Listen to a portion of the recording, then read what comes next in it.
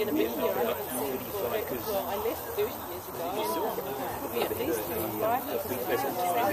And then, you know, whenever you do catch up with cousins. Yeah, so mo- most of the cousins that are my age, I haven't seen each other since we were 18. I haven't met their husbands, their kids, most of the grandmothers. Heather, Alison's sister. It's good though, yeah. Ray and Brenda.